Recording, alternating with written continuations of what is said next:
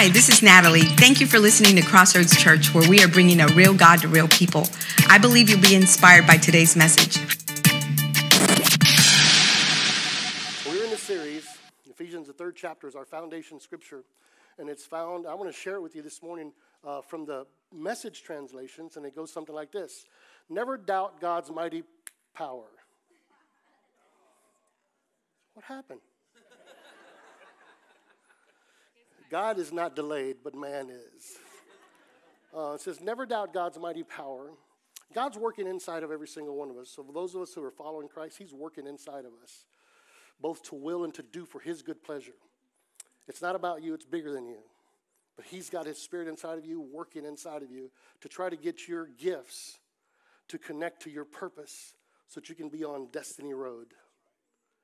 We talk about living your life with a bigger purpose greater than yourself.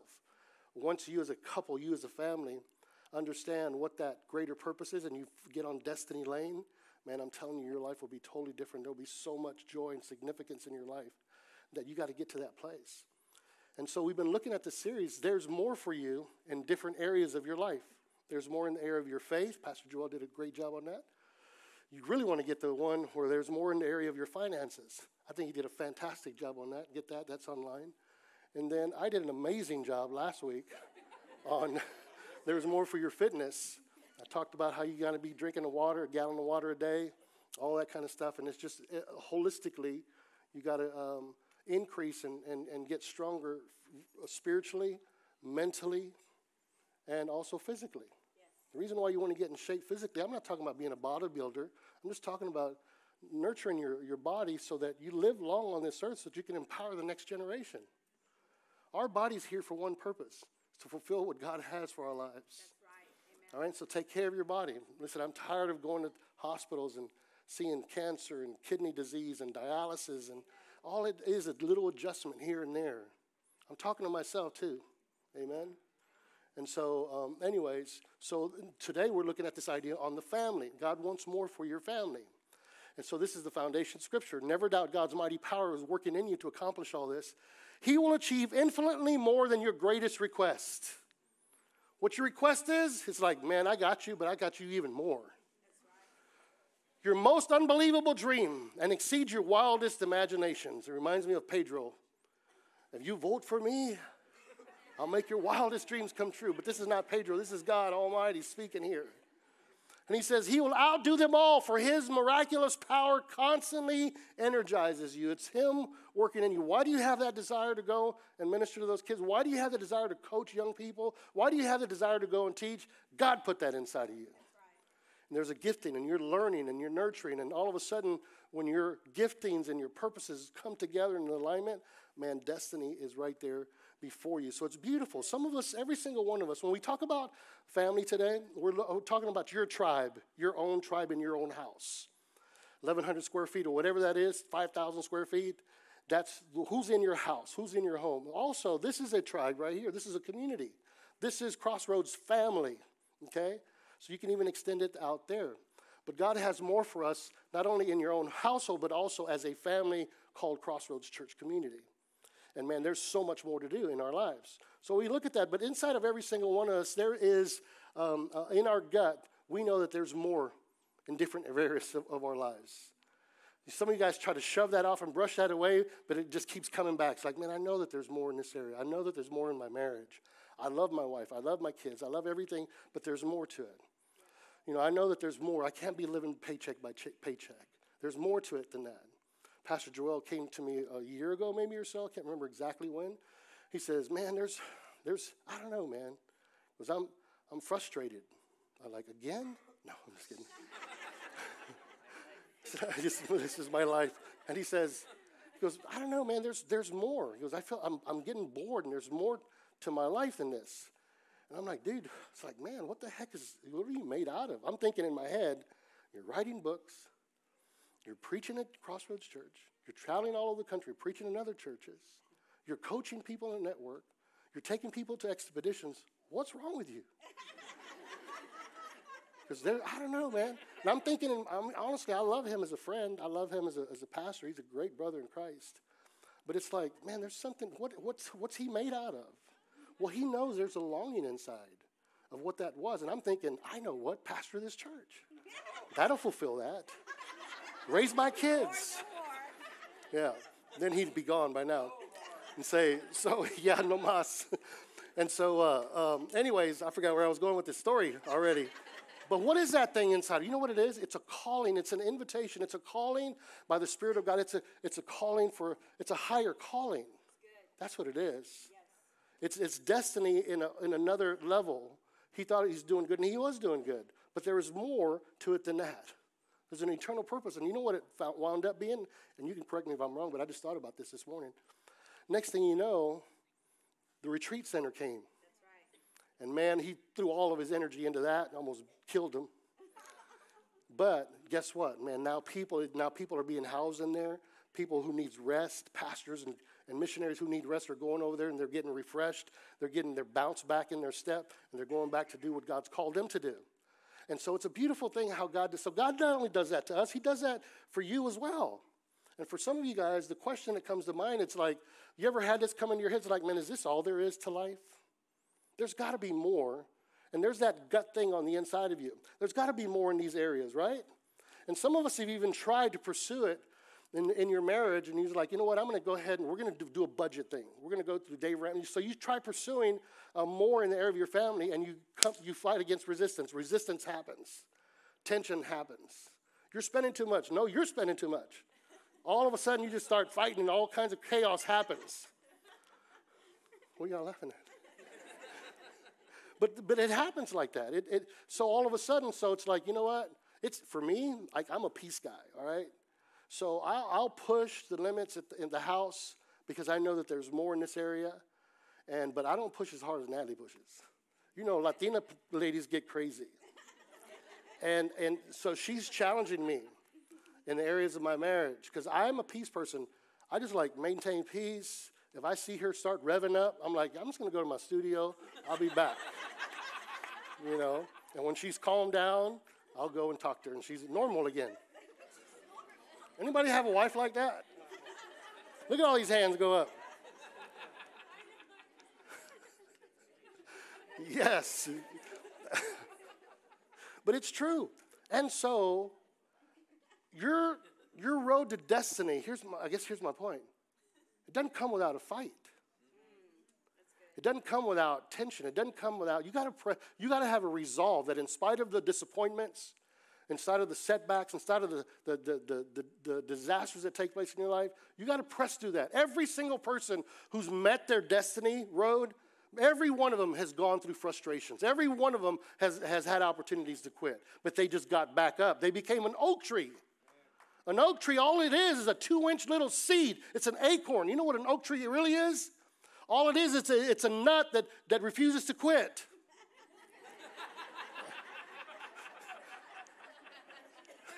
And so you just got to become like a nut, Jeremy, right? And I'm not saying you're a nut, I'm just saying. I've seen this young man whenever he first came in. I'm telling you, man, there was stuff going on in the inside of him that nobody knew. He probably didn't know. But I've seen him just press through stuff, press through stuff all of a sudden you see an oak tree over here worshiping and singing and leading us into a place of God's presence. But it doesn't come without a fight, is what I'm saying. You got to keep pressing through all these things in your life. You cannot quit. And a lot of times, the resistance that we face, we shut down and we don't try again. So we stay stuck and we keep living paycheck to paycheck and we keep living with this, the same spouse, or you go look for another one, or you keep staying in the same spouse and never uh, uh, uh, take care of the communication situation in your home. And so resistance will come, nothing wrong with it. But a lot of times you set your own limitations, you create your own boundaries that need to be broken through so that you can get over to the other side. The Spaniards during Christopher Columbus's era, you know, they thought that Spain was was you can't go beyond that particular land. Of course, they thought that the land, that the world was flat. But you can't go beyond Spain because if you go past this place, you know, you're going to go into a place of dangerous, um, dangerous, you know, routes. And so they actually created this coin. And this coin, it's called, um, I forgot what it is, new, new, what is it? New plus ultra. Ni plus ultra. I, I looked it up in the dictionary and they had a pronunciation in, in American. It says ni plus ultra. I'm like, that's boring, dude. That's a Latin word. Ne plus ultra. I don't know what that is. That's Italian. But ne plus ultra, and all that basically means is that no more beyond. And they said, you know, the pillar of Hercules was there. Ne plus ultra means no more beyond. And if you go, if you try to go beyond this, you're in for imminent danger. And I think a lot of times we as followers of Jesus, we set these coins, we set ne plus ultra in our own mind. We have our own uh, boundaries that we set that need to be are meant to be broken through.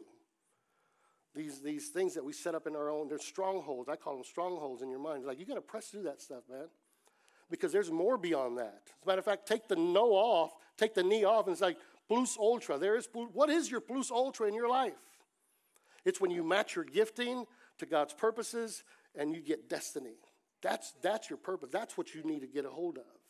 You live way beyond something for bigger and greater than yourself. Does that make sense? Yeah. And so this morning, what we wanted to do, I told, talked to Natalie. I was like, hey, if there was one thing that you could share with the congregation on how they can experience more in their life as a family, what would that be? And she came up with this idea. I never would have even thought of it because she comes from a different perspective, an angle. I grew up in a home where there was consistency. Dad and mom were together for 61 years. So when my friends would come up to me and goes, hey, I'm not going to be here this weekend, it's like, why not, dude? Because I'm going to go see my, my, my, my dad. Like, what do you mean? Isn't he at the house? Goes, no, he's in San Antonio. See, he left a long time ago, and I get to go spend time with him every two weeks. Like, I, I never even thought about that. Because in my house, he was always at home. My mom's always at home. At 5 o'clock in the afternoon, when I was outside with my friends, Mija! I knew that that meant it's dinner time every single day, all the time. Tortillas. When I'd wake up in the morning, I'd smell the bacon. Huevos rancheros. I'd hear mom, que lindo está la mañana. And she'd sing, and it was just consistent, constant. Natalie came from a whole different dynamic. And so I'm going to ask her to come up here and let's talk about that idea. And that idea that she has is like, it's never too late. I don't care where you're at in your family dynamics, it's never too late for more. And this year, we're encouraging you that receive, be ready for more in the area of your family this year. So let's go ahead and welcome Miss Natalie to come. Now I'm just going to sit here and just hear you, okay. and I'm going to start asking questions and stuff. Is that right? Yes. I told myself um, after the first service that I was not going to cry this time. so I'm going to try real hard not to cry. because um, I don't know if you've learned one thing about us, probably if you've been here more than, and if you're a visitor, thank you for coming out and being with us uh, today. Thank you for coming over to Crossroads Church. All I have to say is welcome home. But um, if you've been here for a long period of time, then you understand that Pastor Marcus and I is what you get is what you see. You know, it's too what hard. what you get. What you see is what you get. It's too hard in my life to try to be one way, one place, and one way another. That's just too complicated. So my public and private look very much the same. And so I thank you for being a part of us today. So I'm going to share some stuff um, and what that means. So when he was talking about this, and, and I thought, you know what? There is still more there is still more in our family, even. We've been doing this uh, new uh, lifestyle at home. And I say lifestyle because it's not going to be just because of the fast or because it's a brand new year, but it's really something that God's been laying on our heart for a while. And we both said yes to our destiny to continue to get better in our home. So, what we started to do, and you know, he, he just gave you a little glimpse of his family, right? He was home at five o'clock, everybody would eat. Well, I didn't know what that looked like. You know, I had been on my own since I was 12 years old. I come from a, uh, an abandoned um, place uh, where I didn't have my mom and dad in my we're life anymore. celebrating our 44th year. This together. March, this yeah, March. we'll be together 44 years. Isn't that crazy? 44 years. I'm tired. you should be. I'm just kidding. But um, anyway, I should have worn my shirt that said, I really, I'm uh, low maintenance. But anyway, I have a shirt that says that. But it's never too late. It's never too late to do new things in your family and never too late to just stop where you're at. You know, here we've been together forever and we've raised our children and now we have a grandson who's 19 years old who lives in our home who is just, you know, just such a beautiful thing how God gave Hayden to us as a gift um, for us to try new things and be different. And so we started ordering this food that gets delivered. And the thing about it that's awesome. Talk about that song. eh, the thing it's called Hello Fresh. Hello Fresh. yeah. Hello Fresh. So every time you say hello, peace, hello, love, and when my p- package comes in, I'm all hello, fresh. But anyway, so what we do is we get together and we all actually get really excited to come home now early and start cutting everything up together and cooking together and eating together. And that for me, that's that's a new thing, y'all. Because before, when my kids were younger, I had to run one here, run one there, run one here, soccer, blah blah blah blah.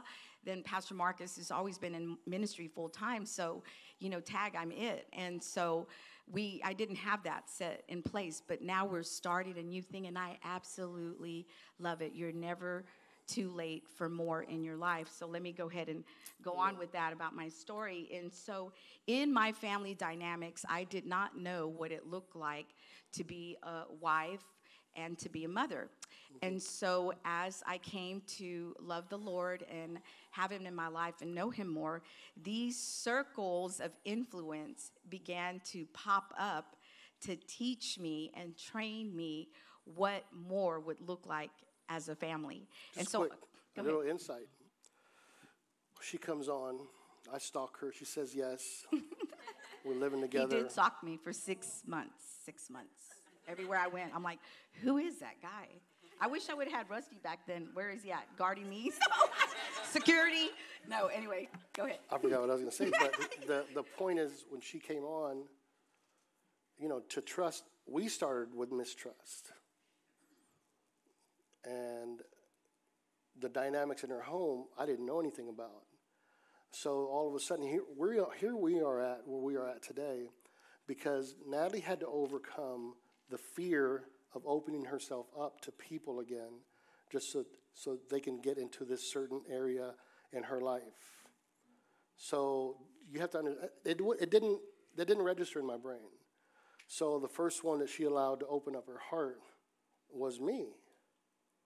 And knowing that I'm a human, I broke that trust, you know, a few times by doing stupid stuff or whatever, you know, things like that. So we just, so all our life, we've had to build, build, build. And we're at this place, but it's never too late. You can start whenever. Yes, amen. And so she had to identify at first who was in her family circle.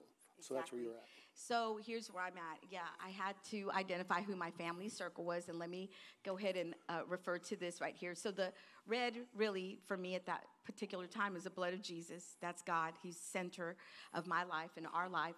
And so here we were, husband and wife, and we had th- the little three dots are were my three kids. You know, at the time they were under 18 years old, and so there they were in my life and in my heart. And even, you know, I've I've had to ask my kids for forgiveness as well because I was so fearful of people hurting me that and it's sad for me to say this but it's true and my kids have gone through counseling and we've talked about it is I didn't want it once they started getting at a talking age where they could talk back to me or tell me mean things I began to guard myself even from my own children. I was scared to love them hard because one day they would leave me or hurt me and that's a sad place to live. And so God began to bring these mentors, these women in my life to teach me what it was like to go through hurt and still love. So the next part, um, if you can go ahead and get the next slide. So that was Natalie's family circle, me, Marcus, and my kids. Then I began to have relationships with close friends. And where did I find these close friends? For me, the safe place for me was church at that time. And since I didn't have a mom, didn't have a dad, blah, blah, I began looking for these people in my life who became like grandparents to my children. And um, for a long time, my daughter Bianca, who's 34 now, we had a family in our life, and she called them Mima and Peepaw. And of course, we never showed, our kids didn't know color or not. They didn't know they were white and we're Hispanic. You know, they're just like Mima Peepaw. She grew up with them until it was, she was a teenager and she finally realized that they were not her real grandma and grandpa. She's like, What? Mima and Peepaw aren't our real grandma? I'm like, No, they've just been your church grandma and grandpa. It's like, girl, You you're know. Mexican. Those guys are white people. we had to teach her no so anyway um, so they became part of my family, part of my circle. They moved in with my adult children in that second layer. If you'll look, there's a second layer there, and it tells where your adult children. Hey, something's wrong with you if I don't try to be mean, but something is wrong with you if like everyone is in your circle all crammed in and they're like 40 years old and 50 years old and so and they're still in your circle. It's like, yeah, but you know, there's there's a place for them. And not everybody can squeeze into that circle and maybe Some that's people don't belong into in that circle. Is That's what right. you're saying, right? Exactly. And yeah. even even our kids, when they were growing up, we were raising, nurturing them. Mm-hmm. They were in that place. But as soon as they became 18 of age, they all we always told them. I said, "Hey, I love you, but she was here before you were here. Don't be talking to my wife that way." And so that's and so all of a sudden they realized they started calling me, "Hey, your husband." Yeah, they, they still do. They're like, I was just talking to your husband a minute ago. I'm like, your dad? But um, that's where they got that from because he had the little talk with them. And he's like, one day you're going to grow up and you're going to leave my house, but she's going to be with me forever. And if she leaves, I'm following her. And so, anyway, so in that second circle, we had close friends that became like family to us. Uh, church families, and then our adult children. And then um, you'll see the third circle here will say relatives and mentors. I will have to say this for some of you. Maybe this was your not your story, but it's mine. For 28 years, I was distant from my relatives, my brothers, and um, and we didn't get together until my mom died in 2015. And my brothers asked me, "Why, sis? Why did you separate yourself from us?" And I told them I was like, I had to get healthy. I couldn't give you what I didn't have at that point in my life. And they were not healthy individuals. They were doing all kinds of crazy stuff. And they wouldn't have heard me even if I screamed at the top of my lungs because they weren't ready. Sometimes your relatives that are in that outer circle, it's okay for them to be there because they've not yet learned the healing and the and the hope that you have in your life. And sometimes they kind of have to sit on that outside circle. Is that making sense to y'all? Hope y'all don't think I'm like an ice queen or anything like that. Because my brothers came into our life. We all got back together again when mom passed away in 2015. And we've had an incredible relationship because now is the time because there's more, right? And so then um, the last layer that we had here, or that I had here, was my church community. That means I don't know every single one of y'all how I do in my second layer. Maybe we just see each other here at church, and that's awesome, but we're still community and we're still together and we're in a healthy place, all one with another. And then um, coworkers. I have coworkers that have jumped in and out of my life throughout those circles. I have coworkers that are now in that second layer in my life over time that I've known for 20 something years that we've been, been beyond just working together. We're friends, we're family. They love the Lord, I love the Lord. So I guess what I'm really trying to say to y'all in all of this is that, you know, one of the things that was very hard for my family to understand was why did, how could you do that? How could you cut us off? So let me talk about Jesus right here. And I'll tell you that um, I took a cue out of his book. If we look at Mark 3 31 through 33, Jesus said this Then Jesus' mothers and his brothers came and stood outside and sent a message to him, asking that he'd come out and speak with them. When the crowd sitting around Jesus heard this, they spoke up and said to him, Jesus, your mother and brothers are looking outside for you. And he answered them, and he said, Who is my true mother and my true brothers? He asked the crowd. Then looking in their eyes, I love Jesus. He's so cool, y'all. I love him. I could just see him going like, let me tell you something right now. Anyway, then looking in the eyes of those who are sitting in a circle around him, he said, Here are my true family members. For whoever does the will of God is my brother, my sister, and my mother. So if you're trying to figure out who these healthy individuals are in your circle, just think about that those who do the will of your father of your father sometimes are in that circle even before your relatives And some and at times need to it'll get out. switch i'm Some sorry people need to move out. Yes, some people need to get out of those circles. But uh, now, using that scripture, I want to talk about this just for one quick second. You see all these small group boards that we have around here. We're not just doing it to have something new to do. Um, but we're doing it because we want to provide you with the opportunity to sign up and find your circle of influence of your people who, who my brother was here earlier. He's been four years uh, sober of alcoholism and um, it all started that journey. Yeah clap for him. He's not here but i tell you what i'm so proud of him. And um, anyway, it, the journey started in 2015 when mom passed. And so we have a, a, a Celebrate Recovery class here that is for uh, habits, hangups, and something else. I don't know. It's hobos. All, hobos. Oh, it's hurts. It's it's so it's not just because you're strung up on drugs. It's maybe you have church hurt or family hurt or whatever kind of hurt. So that's what that group's about. Then I have a group called Heart to Heart for gals of the ages 20 through 30s who are young moms or want to be moms, and they want to know what that circle looks like. I want to help pass on what's been passed on to me. But there are so many community groups. Just check it out before you leave today. I think the groups will be open one more weekend for you to sign up, and I encourage you to do what Jesus did. He was sitting in a circle when he talked to everybody and said, Hey, this is what life is like. So um, I have a quote.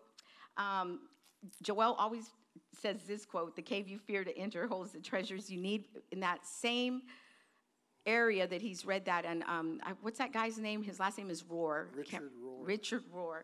There is another um, uh, sentence, a couple of uh, sentences above that, and it says this In loving the spiritual, you cannot despise the earthly. In loving the spiritual, you cannot despise the earthly. My husband says it like this Be careful that you don't get so heavenly minded that you're not any earthly good in making your decisions, right? So as I became more connected spiritually, I was able to make better choices on earth for my life. Does that make sense? And then the second portion um, was that I had to overcome the fear of people who hurt me. I had to overcome that and understand that there's going to be more people that are going to come and hurt me. But you know what? I can't let that allow me from fulfilling what you just said earlier, pursuing the destiny God has for me. So that's where the second part, the cave you fear to enter holds the treasure you seek. Finally, walking through that cave of hurt, that cave of rejection, abandonment, all those things led me to a place where I'm like, there is treasure. There's not only pain, there's people on the other side of pain, Amen. and that's what I want to be connected to. And so, the last final point that I have for you is um, that there's more. There's more for you. There's more for you and your family. So many of you who are in here have become family to us. There's Cindy sitting there, and I call her Marcus's twin sister. We've known Cindy Contreras. Oh my God. We've known each other forever. Joel has been in our lives since he was 20 years old, and all those stories that he talks about, they're true, y'all, because I remember him coming in our living room, and we would try to be very empathetic to him, but really deep down we wanted to crack up because it was like, oh, here he comes with another Southwest Airlines story. I wonder who did him wrong today, you know? So when he shares those stories, I bust out laughing because I, I was there real time when some of that happened, and it's hilarious to me. But him and Emily, they have become man, sometimes more kids to me than my own kids, which is crazy. Um, I love my kids, but right now they're in our life and they're giving to us in a way that's super special uh, for Marcus and I to experience.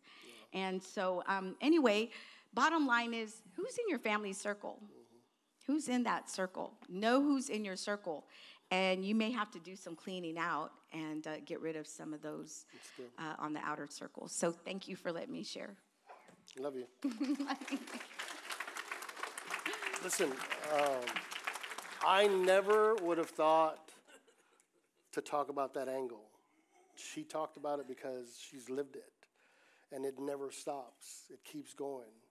And we're, we want more for our family as well, but we know in order for us to pursue all that God has for us, there are people that will have to move out of our current circle now because God's bringing someone else in to make room for someone else. So that's why it's very important this week to look at your life and just say, hey, who's in my family circle?